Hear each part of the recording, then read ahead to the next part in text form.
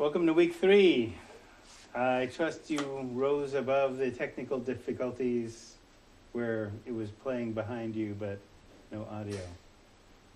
Correct? Well, anyway. Life in the 21st century. Uh, a note on social recons. Get rid of Starboard here. Um, remember, the syllabus says the syllabus is whatever your particular religious holy book, if you have one or not. The syllabus is the Bible, right? So it specifies Microsoft Word. That's the college standard the Microsoft Office suite. If you don't use that and you're sending by email, make sure your paper is in the body text of the email.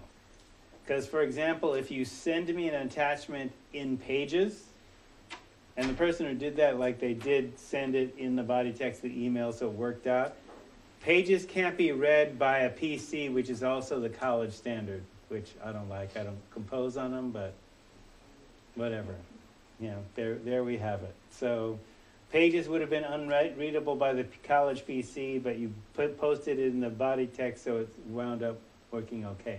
But understand, if you're using email, uh, use the email as a backup if you're not going to use Microsoft Word as a standard, but the syllabus does specify Microsoft Word as the standard. Any questions from last week? It's okay. Be the first. Be daring. I just had a hard time finding your office. Oh, okay. Building one, room two twenty-six, around the corner from Trio. Or counseling. All right. Are you going to work? Yes, okay.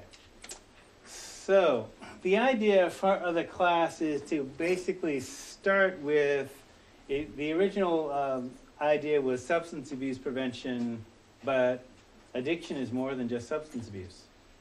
So, addiction prevention technology to the general populace in a way that enables lay people to become proficient in some of the basics.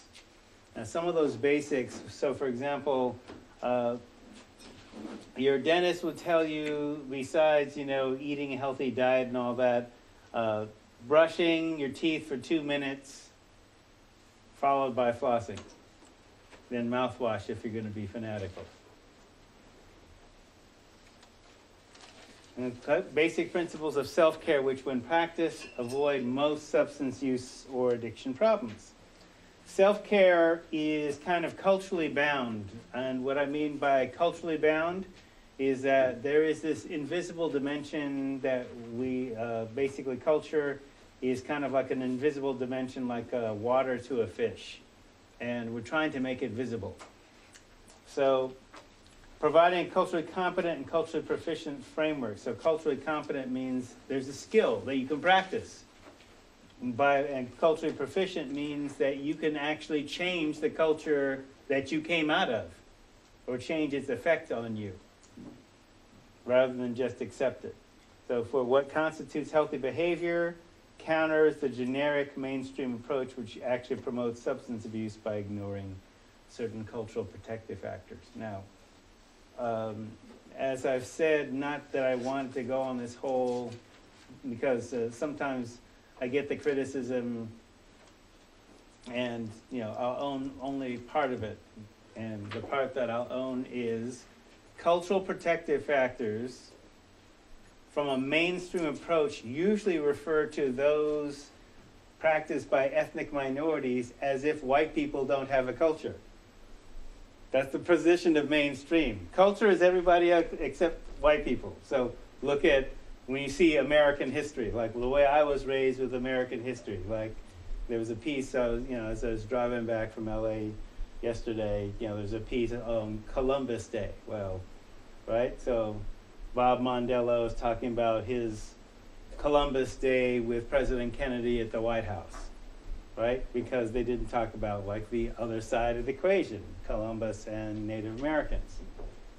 So this week, you know, Native Americans are celebrating Indigenous Solidarity Week, not Columbus Day, Indigenous Solidarity Week. So the fact that that isn't necessarily included as part of your American history course, or I grew up with cowboys and Indians, where in those era of Hollywood, Indians were played by white people in makeup. So whose idea of normal is that? You know, Tonto, Lone Ranger and Tonto.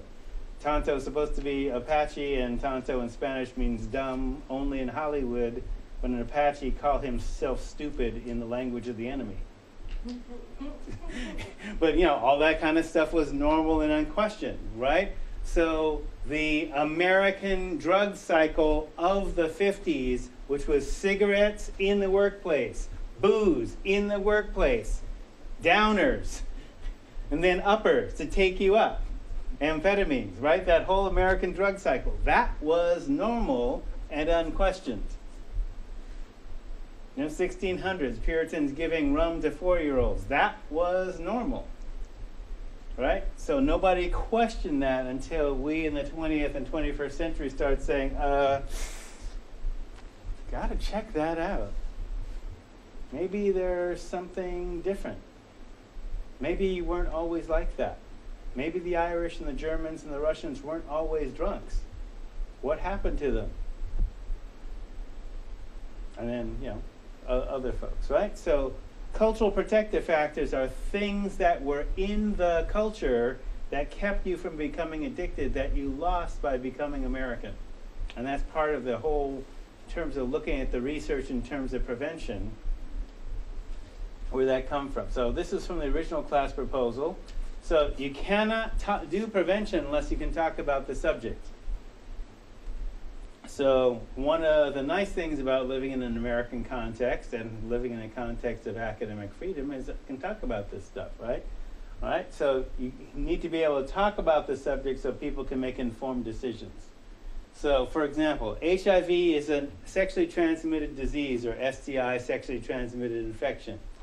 Worldwide, the spread of AIDS is linked to the ability of women to request and utilize barrier methods.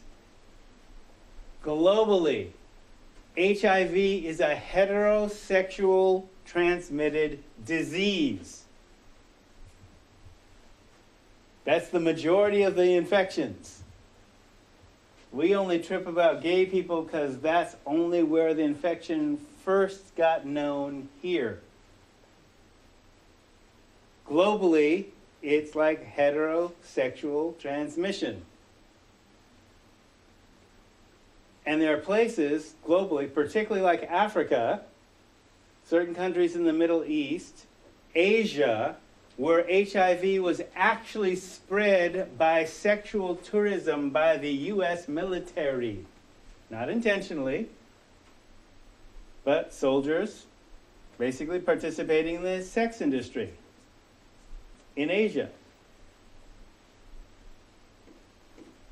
UN fact. Not my opinion. Right? So, heterosexual disease. So, in Africa, unless a woman can first, A, refuse sex, like no glove, no love, if she can't do that in her culture, she's going to be subject to HIV transmission if her husband strays if she's not in a culture that where women can one talk about sex, two get access to barrier methods, right? In order to have talk about barrier methods, you have to talk about sex. Your culture doesn't allow you to talk about sex. Boom. There it is. Right? So here, I mean, this may be uncomfortable, but since the mid 80s, drug counselors, addiction counselors have had to talk about sex lives of our clients because eight, 90% of the people who became HIV positive in the United States did so under the influence of alcohol or some drug. Right? Because do you see portrayals of people knocking boots or having sex sober? No. Right? Bars, etc. have a drink, have a joint, whatever, get you in the mood. So are you going to be talking about your partner's history? Are you going to, you know, get the use the home HIV test on the first date? So in order to be able to use that skill, you have to be comfortable talking about uncomfortable stuff until it becomes comfortable. So you can't do prevention without being able to have the conversation and feeling comfortable with it. Sorry to go there, but this is just real. I'm talking about saving lives here. That you know, I'm kind of fanatical about that. So, if your culture doesn't allow you to talk about sex, you can't do HIV prevention. If your culture doesn't talk about addiction, then you can easily be addicted. Real easy. So, when we talk about uh, a cultural offensive, so this is not a war per se, but the adversary wins by having you be strung out on the things that make you weaker and them more profitable. So it's not simply just about them making money necessarily. But that's an easy one to look for. Follow the money. And You can see, oh, this is why this is going that way. This is why there aren't warning labels giving you dose to weight relationships on alcohol. This is why I will, actually, in the pro class, I talk about this, but this is a real person. I'll just show you how this works. Okay? Guy I will call Tony Soprano, real student, really Italian. And of course, part of his cultural identity, in addition to the pasta and meatballs and paella and all that other kind of stuff, is a glass of wine with dinner which in a European context works okay because you're not drinking to get drunk. Okay, but he is he and his family, you know, drink a lot of wine. He knows not to come drunk to school, that is his work, right? But he didn't necessarily know that a daily dose of wine would trigger the shakes and initiate feelings of anxiety Okay, so he goes to a doc. Hey, I feel nervous. I feel socially anxious. Oh, okay, well, let's give you a pill. Clearly, the warning label on the pill says do not drink it with alcohol. Right? But, or, or don't drink in excess. But it also says do not drink with alcohol, which clients or patients do not drink to excess. Well, I'm just having a glass of wine with my Valium and my Cymbalta and Valium and Cymbalta. Okay, so drinks his usual glass of wine, driving home from wherever, gets a Dewey. Boom. Right? Comes to see me. Uh, oh, did you see the warning labels? How much did you drink on top of that?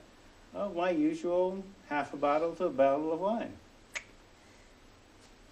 Okay, that's where your problem would come in. How long have you been doing that? Years.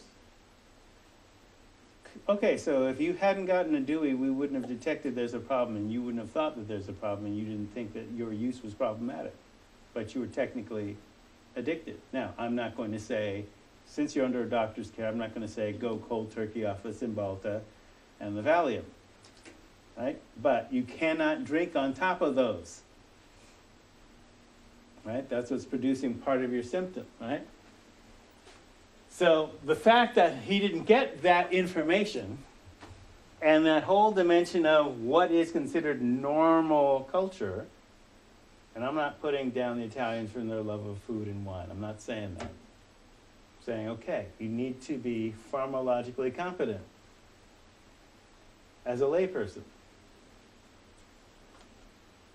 All right, so less about a war and less make him more about making you more human than your adversary. So some of us were more human before we became Americans, and some of us are considered less than human after we came to America, even though we have the values that Americans like low drug using culture, respect for elders, children, family values, etc.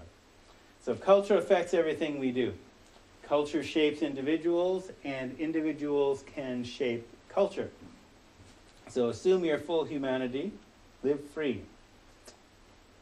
Going poetic, I do have a poetic license.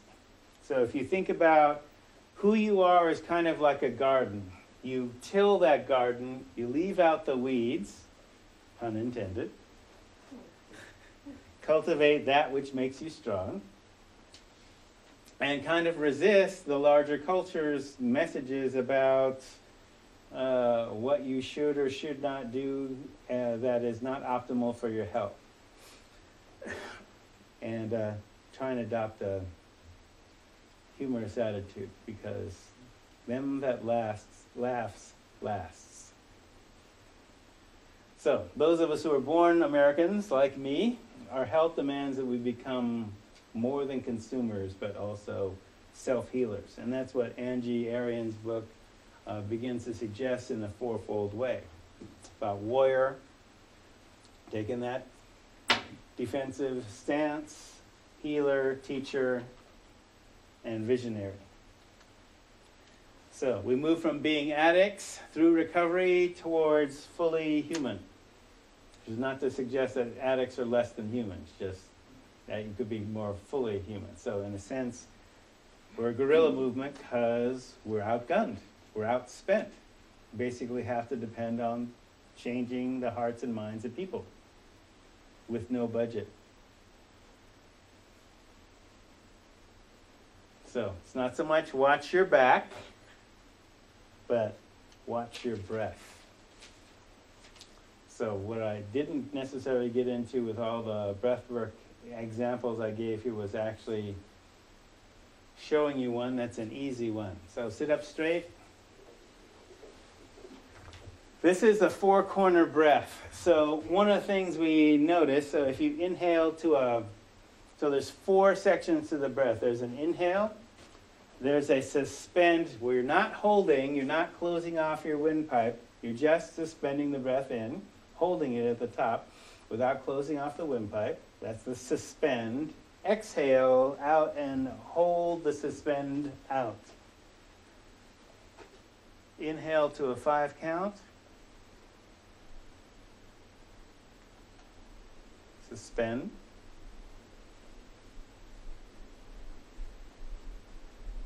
Exhale to a five count.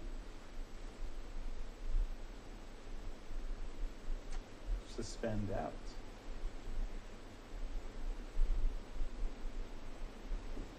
And then repeat that a minimum four times. Call this the four corner breath. Basically, slowing your breath down to three breaths a minute. When you do that for a minimum of two and a half minutes, you produce an endorphin reaction in your brain, which begins to calm you and slow, lower your blood pressure, among other things. Okay, you produce a chemical change. Minimum of two and a half, say three minutes.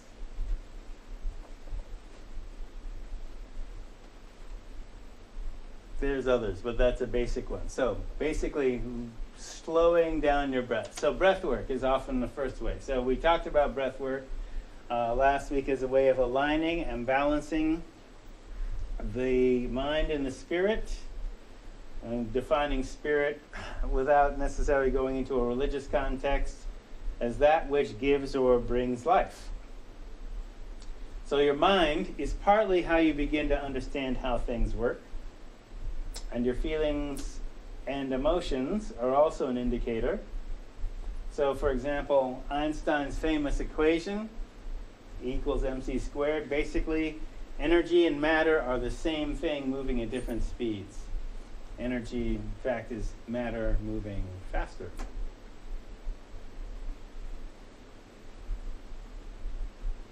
It's one of the basic equations within quantum physics, which basically says, okay, this stuff isn't actually physical, it's energy relationships. It's not solid. It just appears to be solid. Probability patterns are hard to compress. because the actual molecules are actually there's more space in the molecule than in the molecules. So, yeah. Anyway, reason I was going off into that. All right, your spirit is ener- energy animating matter. So the, the analogy that I like to utilize is just like electricity runs your computer. You unplug it, you need battery power. Basically, spirit is animating your body, and certainly within um, certain traditions, uh, literally breath is part of what's animating you. Though certainly, you know, life begins with an inhale and it ends with an exhale. So certainly, in between your first inhale and your last exhale, control of the breath has lots of side effects in terms of skill development. So your spirit is energy ma- animating matter. Where your spirit is gone, your body dies. When your spirit, where your spirit goes, is not the subject of this class. Uh, but there are some interesting references in popular culture about, uh, let's see, that movie 21 Grams, where uh, basically I think uh, they executed somebody and they weighed his body, and there was a 21 gram weight loss uh, when he was alive, between when he was alive and when he was dead. Like, okay, so what is that 21 grams? Because it ain't the air, it ain't the liquid. You're alive, that what? And when you're alive, you got 21 grams more than when you did? Like, so what is the energy? Wait, energy doesn't have mass, so what is the energy that weighs 21 grams that's present in the body that when, when the body is dead, you weigh 21 grams less? Anyway, whatever that is. Because technologically, we have not discovered what that energy is. We haven't. Just that is there. Now, other older systems like the Chinese, you know, with the chi system or the key system, claim to, you know, map meridians, and certainly you can teach a 10 year old white kid to break bricks using karate. That isn't strength training.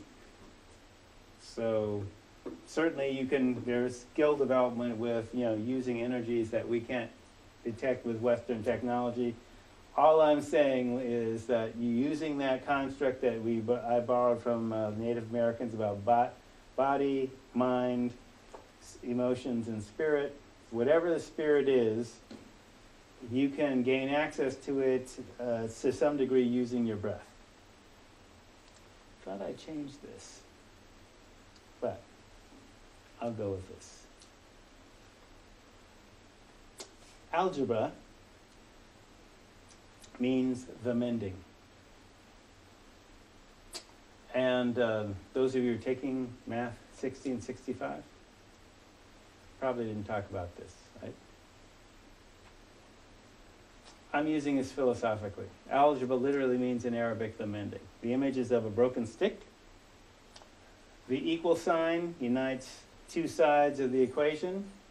What you do to this side, you got to do to that side. What you do above, you got to do below, till you reach uh, final answer. So when we talk about emotional equations, so this is a suicide equation, and it basically reads like this. If you understand algebra, order of operations, PEMDAS, please excuse my dear Aunt Sally, parentheses, exponents, multiplication, division, addition, subtraction. Work the equation in that order, you get the correct answer. In other words, if we're applying this to emotions and counseling, do the hardest thing first. Go to the center of the emotional pain first. Okay, so in addictions work, in terms of counseling, it isn't the drug taking behavior that we look at. The drug taking behavior is a symptom of something else. So we got to get to that something else first. So I just wanted to keep you keep this in the back of your mind. This ain't a counseling session. I'm just saying, okay, what we do here is not just look at the addictive behavior, but the addictive behavior is a symptom of something else. Something's driving it. All right, so expanded anger denied expression, A minus E, multiplied becomes depression.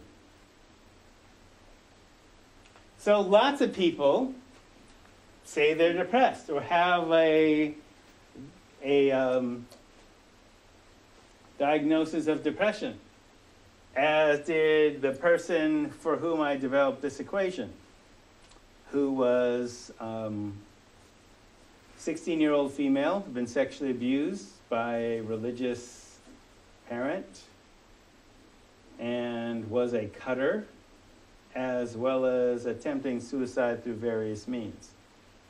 So, and couldn't talk about it and couldn't report even to the mandatory reporter. It took about a year of cultivating her to say, okay, what's bugging you? Why are you taking this out on yourself? So, anger denied expression multiplied becomes depression. So, this the multiplied was basically 50 and that's just the stuff that she could remember, separate incidents of abuse that she couldn't talk about and couldn't express and wouldn't be believed and et cetera, et cetera. So that multiplied, that anger, without going being expressed, became depression. But she had a clinical diagnosis of depression and nobody asked the question, are you being abused? Okay, so some forms of depression are anger that are not being expressed. So then to solve the equation, you basically express it and then not, you know, not just for each particular incident, but overall. Okay, so do the hardest thing first. Go to the center of the greatest pain and the greatest wound and heal it. So I came up with an alternative order of operation pain, loss, and fear, depression, anger, serenity.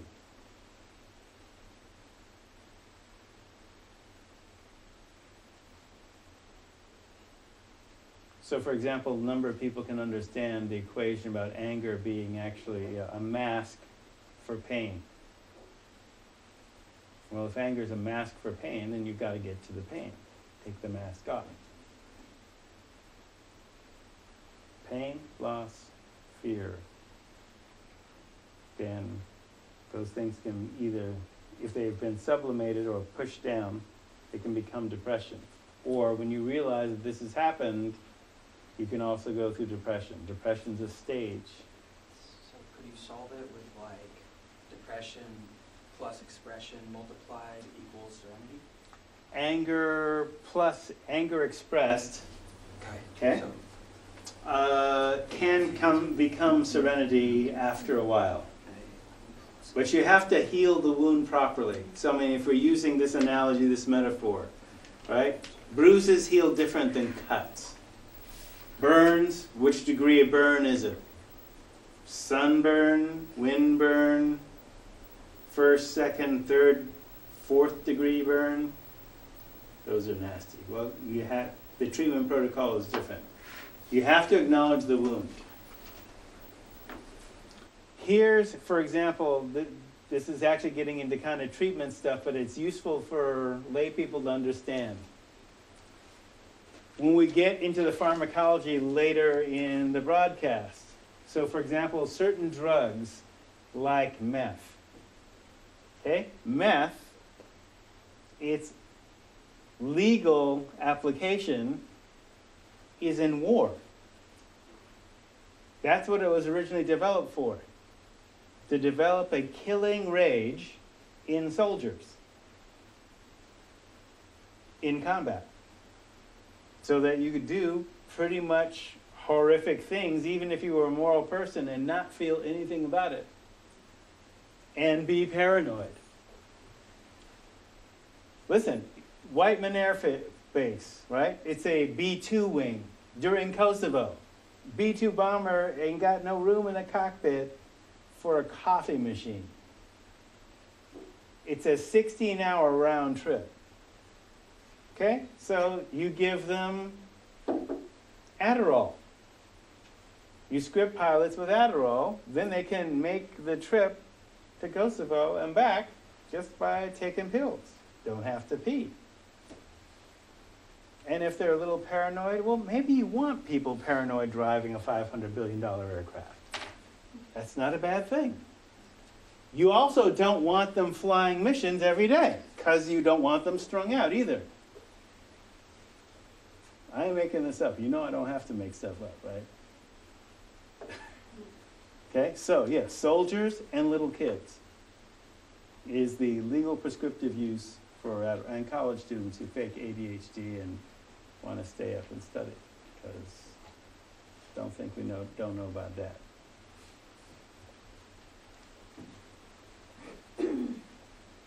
So part of the piece in terms of looking at that, the reason I went off on that whole thing with meth is when you come off of it, okay, you've essentially created a wound in your brain where, just like when you cut your finger, ow, it stings, you stop the blood, you know, you put a little whatever on it, ow, it stings, and then you put the band-aid over it and it still stings when you move it and then the most annoying part is the itching. The itching is healing. Drug recovery for the brain is boredom.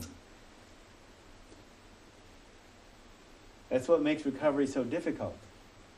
Okay? Because literally, from the brain's point of view, using any drug because the natural chemicals that are in your brain that the drug is stimulating uh, such small amounts, I don't know if you guys are old enough to remember these cartoons, if they still have them, but like Wiley. Coyote when he gets the safe dropped on his head. Okay, that's what drugs are like to the brain.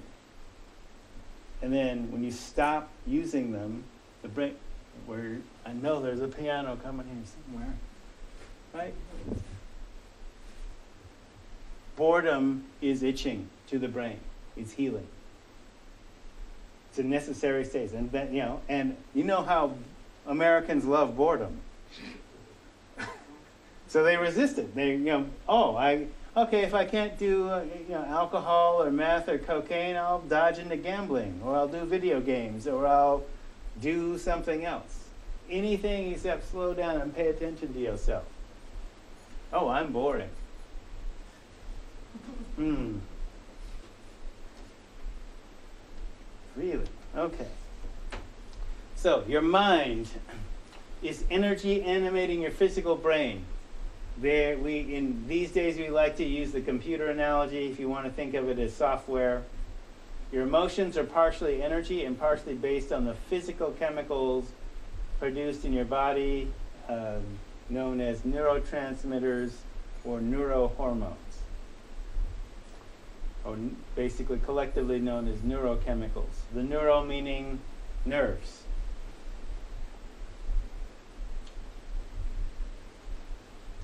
Hey, your physical body is both the hardware built by DNA and the software that goes along with DNA. So, for example, spiders. You've seen spiders, yes? Spider never meets its parents. They're dead. Spider knows how to make a web.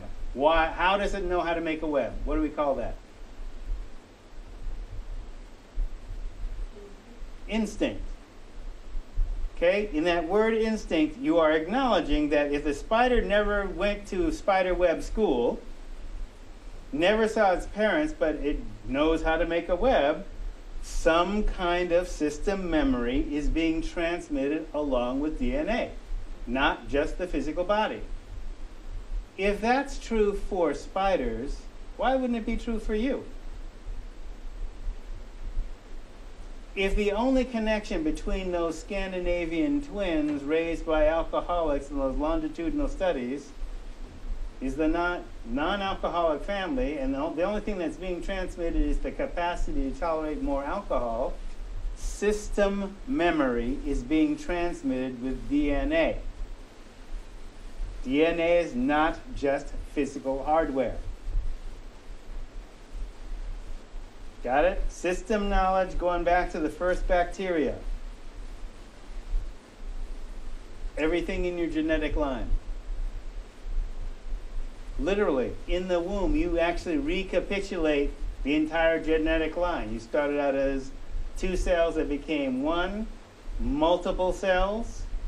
You had gills. You were like an amphibian. And then, as soon as you hit air, you were an air breather. I mean, it is a fact. My both my kids were, were water births. It's a fact that in the womb, the breathing reflex doesn't kick in. So if the kid is born underwater, they can swim around underwater, connected to the placenta, and not drown, and still get O2. It's only once they hit air that the breathing reflex kicks in automatically. Okay, so we recapitulate the entire genetic line, every critter going back to the first bacteria in our DNA code. So understand, this is our 21st century quantum physics sense of DNA. We used to think that, oh, we're, we're machines. That's Cartesian. You're just a wind up clock. Well, no. In quantum physics, oh, it's not just that it's a machine, it's a series of energy relationships. Okay? So, in that sense, that software idea, and what's called, the field is called epigenetics itself. So, most of the time, our culture doesn't teach you to be aware of the relationships between your physical body and the energies that animate or run through it, let alone your emotions or thoughts and how those affect your health, mental and physical. Okay? But there are cultures that were based on that knowledge, particularly this Egyptian yoga and um, the martial arts systems that came out of that culture and the cultures that were around it, including the Chinese. So, most people think that they are their impulses, their emotions and drives and urges, that is their total identity, and not that they have emotions, impulses, and drives, and at a certain point, they can choose to control them if they have or are given the skill to do so. Control of the breath is first baby step towards that skill set. So, for example, if you're potty trained, you can hold it unless there's some medical condition, right? We expect adults to be potty trained. Okay, but what about when you're bored, hungry, horny, lonely, angry? Do you hold it then? Same thing, really. Okay, so you know how to hold the impulse and resolve it another way than addictive behavior. So, you know, people actually, when I've asked them before, what's fun taking this class? Okay, well, same therapy, it's education by a therapist. For free. For free, just, well, even when you're out of the class, it's free. So you recognize the DNA code. So about 10% of the DNA molecule concerns itself, as far as we can tell, with building proteins, physical structures. 90% is unknown, some say the junk DNA. So, for example, they can say there's an alcoholic gene, but they can't say which gene it is. And it's probably not a gene, probably a complex of them turning on or off. Um,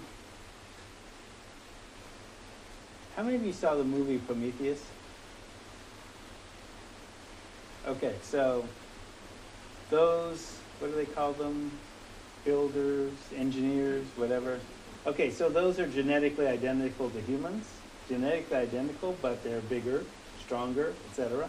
Same genome, different genes expressing. Okay? Just like we are all the same critter. Different genes expressing.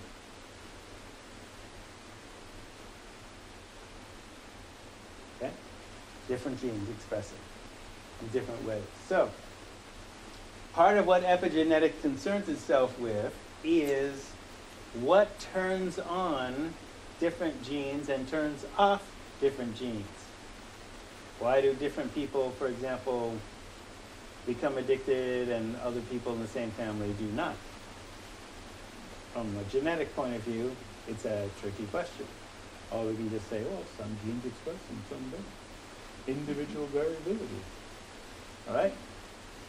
So DNA is also coding non-physical information. So from a certain point of view, the owner's manual, manual for the body is in the body. The instructions on how to live by those beings before you is uh, in, within your genome. So not just humans, everything. So all DNA-based forms of life, from the smallest bacteria to vi- or virus, algae, poppy, marijuana, Douglas fir to the largest whale, use chemicals to communicate between cells.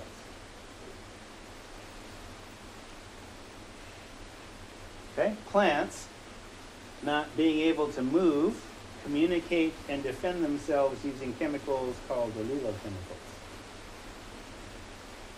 Take, for example, um, how many of you like hot, spicy things? Okay, so the plant can't run away, but the plant's strategy is to attract birds to eat the fruit to spread the seeds because birds can spread the seeds farther than mammals can. All hot flavor, there's no flavor taste bud for hot. Okay, what hot food is, particularly capsaicin, peppers in particular, it's a chemical burn designed by the plant to drive away mammals. Serious. To drive away mammals. But we crazy clever monkeys, of course, breed hotter and hotter peppers. So, you know, my tolerance is for habanero, raw garlic cloves, right? And Tabasco to me is like, this is like vinegar with cayenne. Please, weak, weak sauce. So the idea is this it's a chemical burn. And what it does and why we like it is in response to pain, our body produces endorphins. So we get an endorphin rush. Pepper junkies. Okay? So that's one. So plants create chemicals to fight back against things in their environment. Right? So this is actually how we discovered, or actually rediscovered penicillin. What a penicillin mold does is it infects bread, and then it creates a toxin around it to keep other molds from coming in. We've synthesized that active ingredient to kill other bacteria, which then evolve around it. Same thing with like the HIV virus. It basically is designed to evolve around all the things that we throw at it. Okay? So animals know this and will eat certain plants, like us monkeys, with peppers. And so at best, this is good nutrition. At worst, it could become addiction because you're producing chemical change. Okay, so DNA is not just simply a set of energy relationships. It's not a physical molecule, but a set of energy relationships, as all quantum relationships are. The atoms don't actually touch each other, they are bonded energetically. The cell does not simply respond to physical and chemical signals, but also energy signals as well, some detectable with our current technology and some not.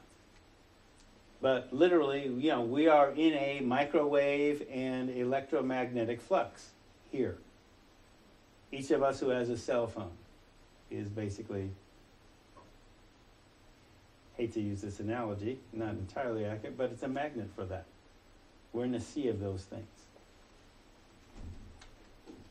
So, like life energy itself, we do not necessarily, we, uh, some are detectable, some are not. Like life is not detectable, but uh, you can modify it. Control the breath, you control the mind and the body and the emotions. Okay, some mind body uh, disciplines teach you to do this. So, this is your brain. So, not just the old partnership commercial, but a couple of graphics. The organ made of 100 billion neurons which respond to energetic, physical, and chemical signal. Doesn't care what. It's all signal.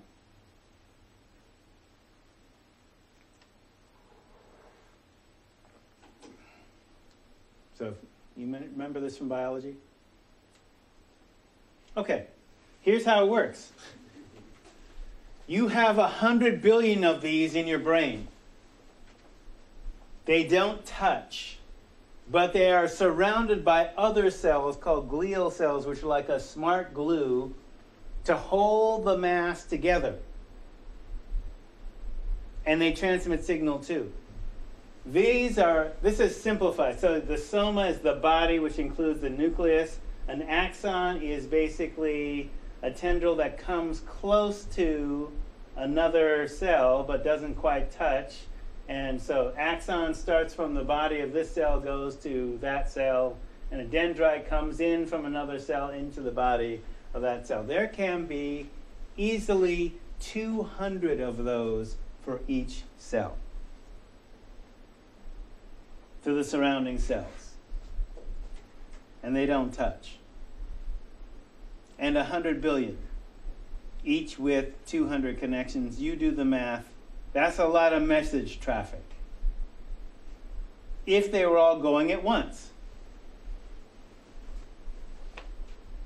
I mean, when I'm teaching meditation, all right? So try and get people to still their thoughts. I'm just saying, okay, physiologically, when you think about what is happening physically to your brain, in your brain, just by being awake, if you could reduce it to words, that's like 5,000 words a second. Just from being awake, hold standing up. You know, 200 some odd bones, hundreds of muscles, breathing, eye, you know, the eye signal, visual signal,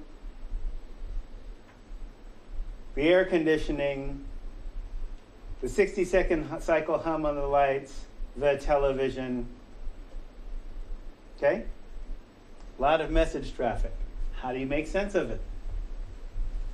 Neurochemicals.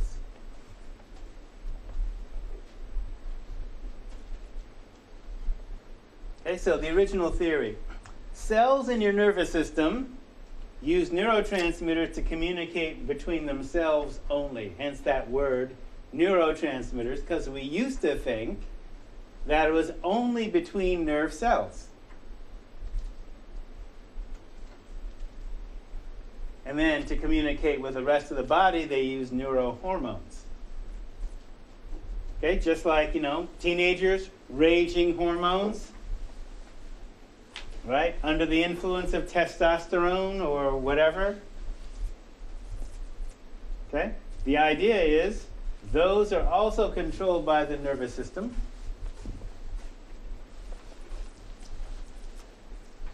Okay? Neur- neurohormones, while controlled by the nervous system, are also produced by other cells, ductless glands, white blood cells.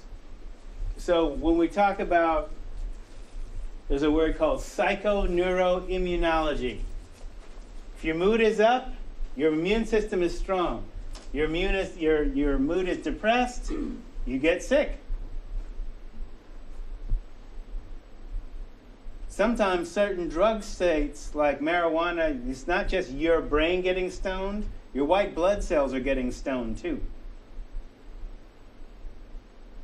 And so some part of marijuana recovery is an immune system rebound where all of a sudden the white cells wake up and go, whoa, there's all these bacteria around there.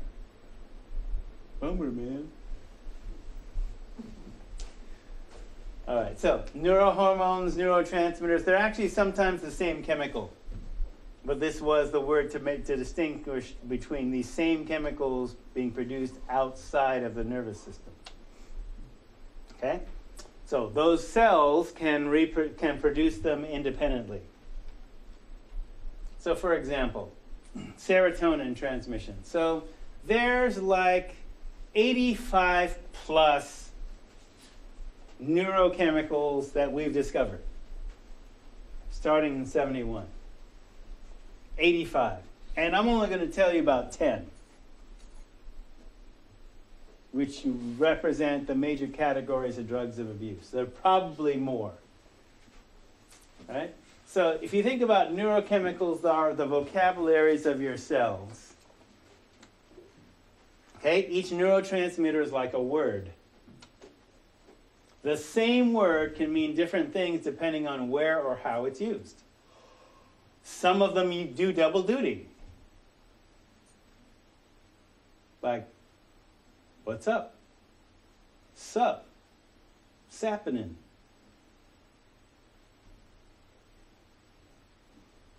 That was a Michael Jackson was bad. Miles Davis is bad. Miley Cyrus is bad. Okay, same word, different meanings. It was cool this morning. Miles Davis did Birth of the Cool. My ex did me cold. That was a cold jam. Cool jazz. Okay, same idea. Same word can mean different things depending on where and how it's used, right? Okay, some neurotransmitters do double or even multiple duty depending on what the circumstances are and which cell is saying them to who and what combinations. Okay, so after the word is given, one of two things happens. It's eaten by an enzyme or brought back into the cell in a process called reuptake. Now, if you remember that slide where I basically did the nicotine researchers, and they're using all these 13 cent words about acetylcholine esterase. So acetylcholine is the neurotransmitter. Right? So it's a choline, so it basically has to do with a nerve muscle interface. Right? So there's a neurotransmitter, acetylcholine, which basically when I clench my fist, acetylcholine is working. When I relax, acetylcholine is working two different sets of nerves doing the same thing using the same neurotransmitter. Raising my arm, lowering my arm. Acetylcholine. Now, to turn off acetylcholine, you need acetylcholinesterase. Erase, but the ACE erase is the enzyme that turns it off. Kind of like, remember Pac Man? Gobbles it up. So here's a axon terminal.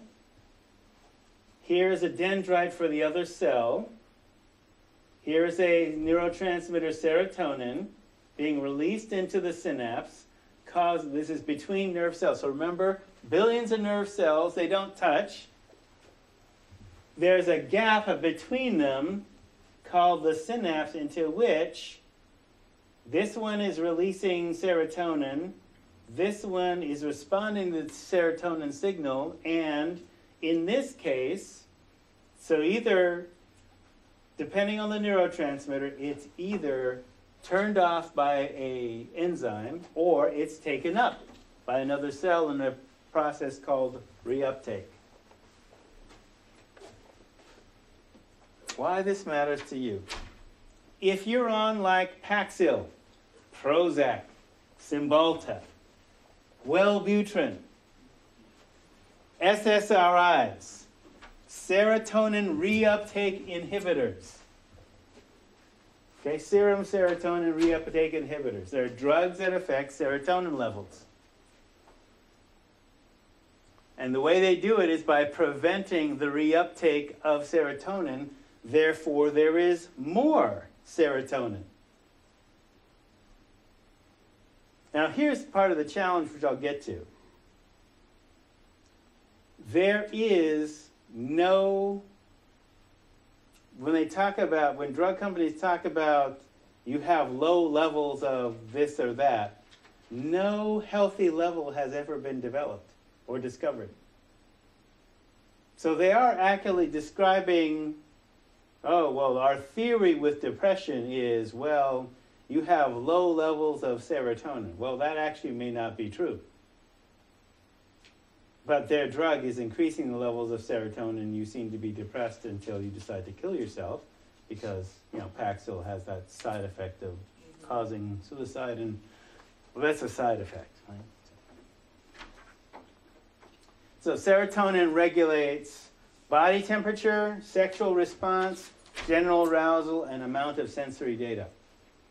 All right, so if you'll notice, you know, in those drug commercials where you know, it used to be, you know, in my youth, it was illegal for drug companies to advertise like that. You had to basically get it from a doctor, and a doctor basically prescribed the drugs that whoever was the most convincing drug detail person.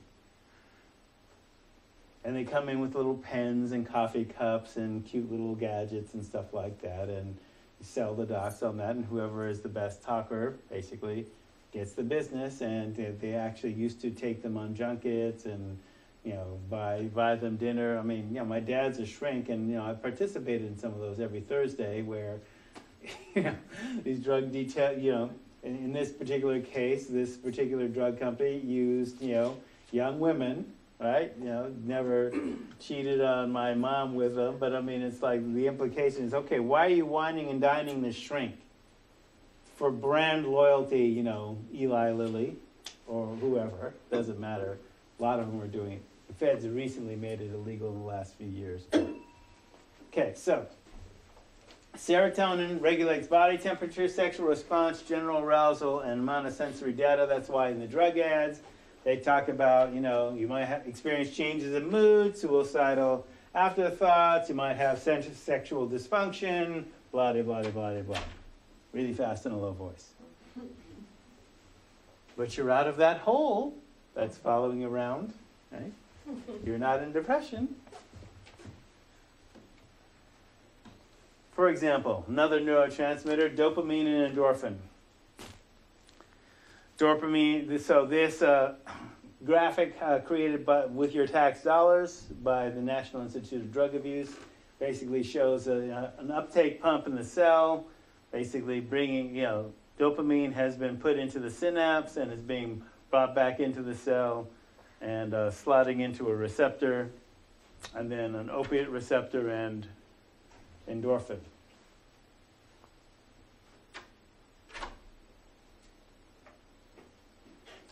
Now, the way that we used to conceptualize this, the easy way for people to conceptualize this is basically thinking of the neuro, neurotransmitters as a lock, as a key, and the receptors as a lock. The actual relationship is more complex, it's more like a dance because they don't actually touch. They just come in proximity to each other and cause basic changes inside the cell. But that's actually complicated to explain, so the lock and key thing is the popular way of conceive, conceiving, conceptualizing how this happens. All right, so the DNA code, which build bacteria and bacteria viruses and Venice, endorphins and Egypt, and supports an endogenous ligand system. So endo means within, genus of the quality of genes beginning within genes. So endogenous ligand, ligand means chemicals which bind to receptors. Okay, again, referring back to that technical slide from last week. This theory was basically discovered in 71. So chemicals which your cells use to communicate with each other, with each other are how you think and feel. So if you start thinking about your emotions being as a result of these chemicals, and you can easily make the connection that certain drugs are feelings too. Okay, so other living things use the same chemicals for different purposes. So, for example, the poppy plant sap is not used by the poppy to make it feel better. Basically, blood. The cannabis plant doesn't make THC to get you high. Sorry, humans, it's not about you. Okay, peppers don't make capsaicin to spice up your life. Bees don't make honey to give you a buzz. So, anyway neurochemicals, pep, hormones, peptides, neurotransmitters, over 85, and I'm only going to talk about 10. So these 10 neurochemical words. Serotonin. So what it does, controls arousal, general arousal, data flow, body temp, and sleep. So, as an example, with the data flow, 100 billion neurons. Sometimes they're on, sometimes they're off, but the message traffic alone would be overwhelming. So, one of the things that serotonin does is screen it out and enable you to screen out. So, that's what its therapeutic use is. You want to increase serotonin levels with an SSRI, it allows you to screen stuff out. Those voices, or whatever. Body temperature and sleep. Dopamine, pleasure, memory, and brain reward.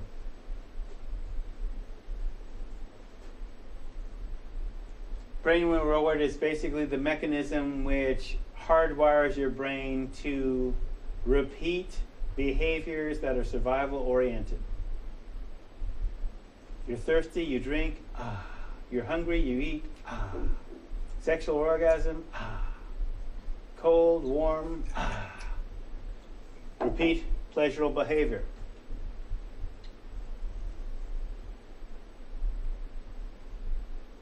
Endorphins, emotional pain relief, orgasm. So you can see these actually have some interrelating, even though they're separate. Okay, so endorphin actually doesn't stop the pain, it just makes you feel better about the pain psychologically.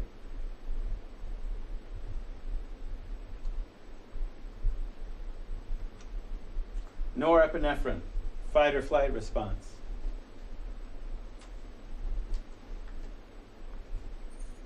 I like to think of it as kind of I'm a trekker, so Starship Enterprise. Shields up, phasers on lock, photon torpedoes.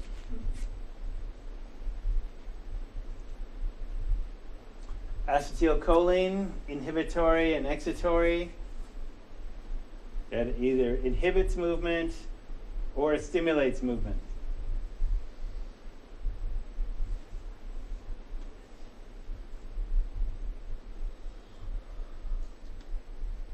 Anandamide, the bliss molecule, that's what Ananda means. First discovered in uh, 1991 by Israeli neuro researchers. Basically, pain, coordination, memory, sensation.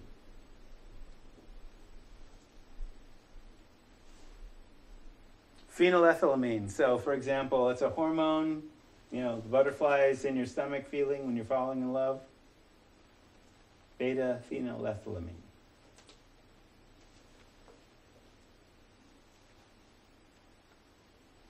Testosterone, since we all make testosterone, male or female genomes. Secondary sex characteristics in both sexes, and then estrogen, same thing. So testosterone is an anabolic steroid used in uh, bodybuilding, etc. Estrogen replacement therapy for women who are in menopause, etc.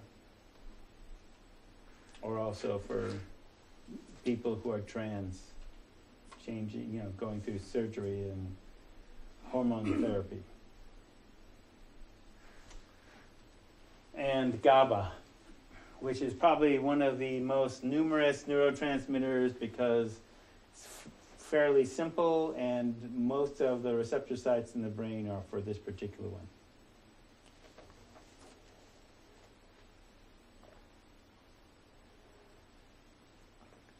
Now, I've only done 10 out of 85.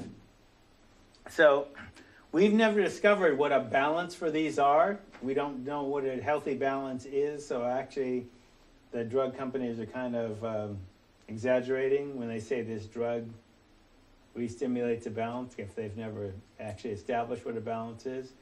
If you basically test a normal person and a psychotic person, neurotransmitter wise, you can't tell the difference.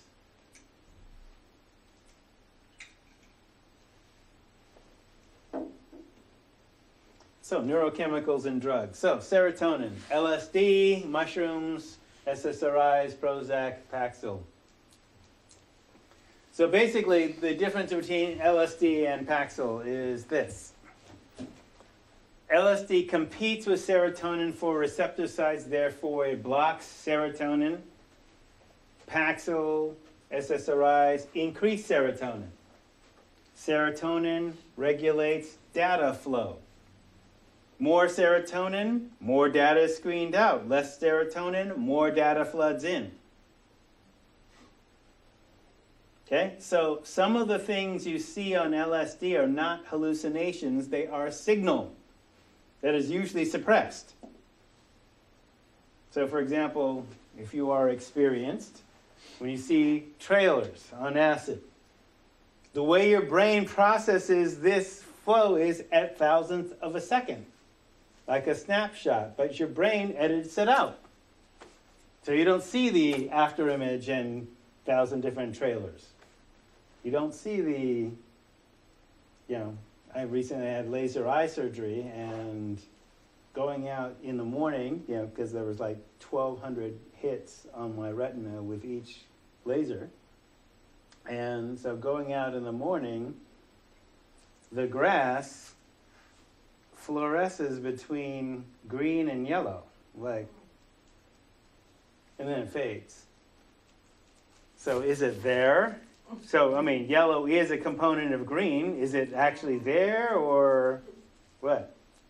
It's a trip. Anyway, the idea is like, for example, don't think about pink elephants. Don't think about pink elephants. Stop. Okay, so the subject object relationship. You see the pink elephant in your head, you don't see them in the room. That's a function of serotonin, so that you don't see your thoughts out in the room. But you can see your thoughts in your, as we say, mind's eye. LSD reminds, put, takes that out, so you see this hallucination, etc. Right? So, data flow. Some of the data is actually there. Some of it is not. Dopamine, cocaine. So, since dopamine is involved with brain reward, what cocaine will do is that it will simulate that you're satisfied. So, for example, a lot of things that we know with rats and rat, in psychology, a lot of things that we know in psychology, we know from rats and college sophomores. So, the rats given the opportunity to self-administer cocaine, will do that until they die. And they'll ignore, they'll cross electrified barriers, ignore fertile sex partners, et cetera, et cetera.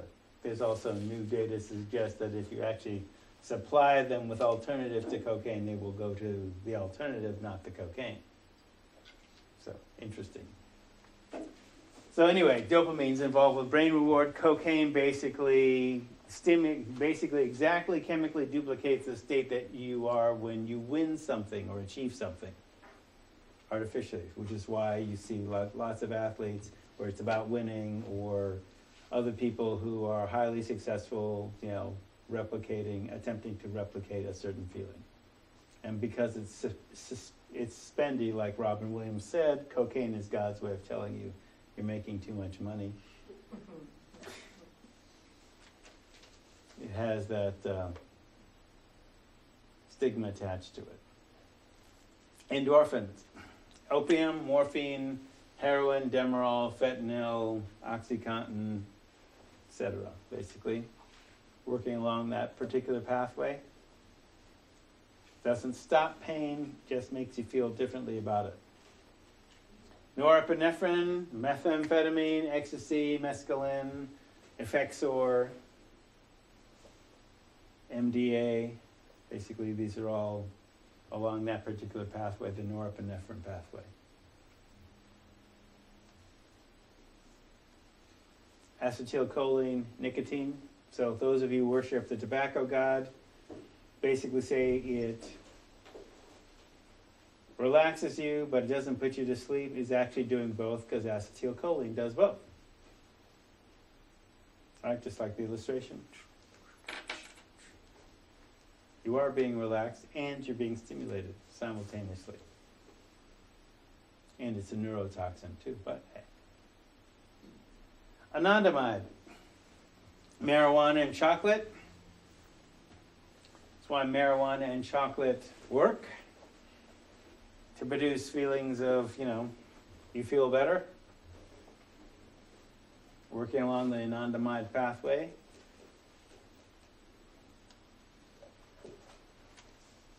Phenethylamine is also in chocolate. What do you mean by feeling butterflies in the stomach? Is that nervousness? Uh, depends on how you interpret it. It could be ner- nervousness, it could be arousal, it could be pleasure, it could be anticipation of pleasure, it could be a lot of things. Because that's what anandamide works on. Sensory perception.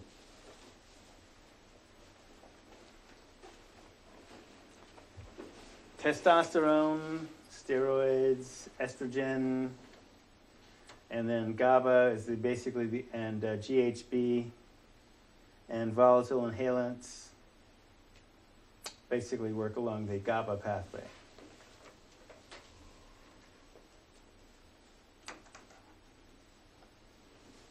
So take for example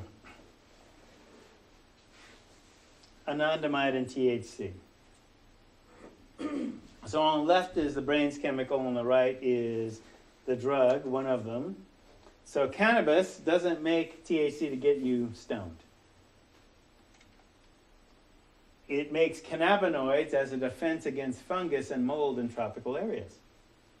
Particularly, what it wants to protect is leaves, flowers, and seeds against mold.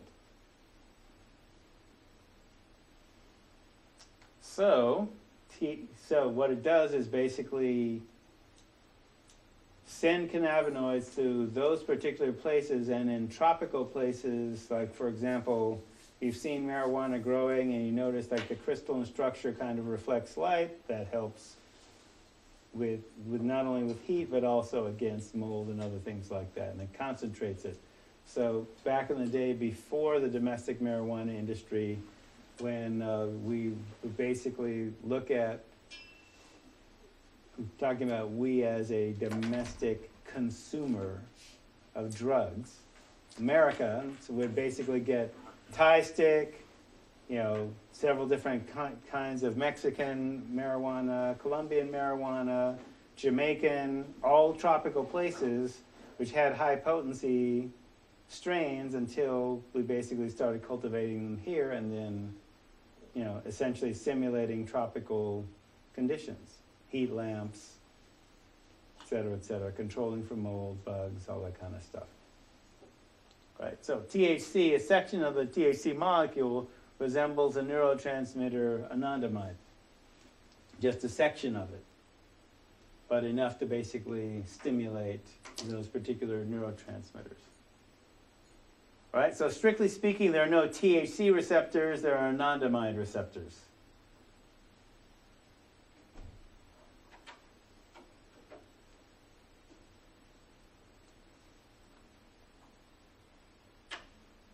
So, for example, anandamide is involved with diverse brain areas pain perception, balance, coordination, sensory input, movement, judgment, vision. So, in certain high doses, it can be a hallucinogen. Uh, you could use it for pain. You could use it for nausea. You could use it for, you know, again, all the major pharmaceutical houses before 1938 had a medical marijuana preparation, usually an alcohol tincture, till they were made illegal.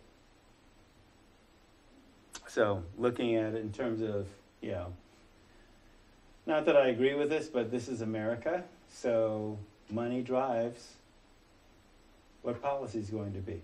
So, if you were actually going to do medical marijuana, then you test it for, I think the Colorado model is probably the best model I've seen in terms of from seed to harvest, the entire process is monitored by video as well as each strain tested for which constituent, constituents are in it so that you have a precise readout as to high THC or if you want a strain that doesn't get you stoned but does do pain control, high CBD. They have that all measured out rather than just smoke more butt. And then you can also, if it's really medical, then you have precise dosages for precise conditions rather than just smoke more butt like we have here, which is dumb. But my opinion. Anyway, like opiates, while it doesn't stop pain, it enables you to deal with it emotionally. And naturally, since it produces pleasure, it's part of its effect, it's involved with brain reward, which automatically means that withdrawal is going to happen. And while it's not going to be always as dramatic as heroin withdrawal, um, there is a withdrawal syndrome. So a section of the THC molecule resembles anandamide, doesn't have to be an exact match. For example, endorphin means morphine within, so even though your body makes it, and not a plant opiate slot right into your endorphin receptors and probably uh, have some relationship uh, with anandamide being involved with pain as well. Different chemicals, same function, they probably affect each other. Okay, so when it is a problem. Okay, so if you have established a safe and effective dose for the drug, so if it's a pharmaceutical, it's a problem when you go beyond the safe and effective use for the drug dose for the drug. Two, thanks. Okay, it's a problem when you take a drug that wasn't prescribed for you. It's a problem when you take a substance not designed to be a drug. Paint, glue, glade. It's a problem when your use affects your body relationships, jobs, legal status, then there's the whole tolerance and withdrawal piece. Okay, it's also a problem when you can't quit. It's a problem, like I said uh, first week, if you feel you have to lie about it. So, pharming is an addictive behavior, taking prescription drug that isn't yours, buying diverted pharmaceuticals, smoking or snorting pharmaceuticals there's Jackie. There are all kinds of examples. So, in terms of drugs or feelings, um, these are some of the feelings that people describe when they have or take certain substances.